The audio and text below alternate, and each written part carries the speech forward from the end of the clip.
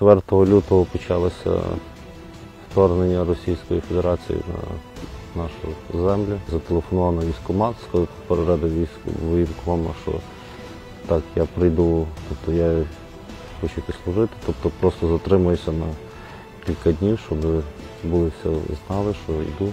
У 2014 році був АТО. Ну, що 14 від зараз дуже сильно відрізняється, це суттєво. Більше працює авіація, і також працювала артилерія, але зараз.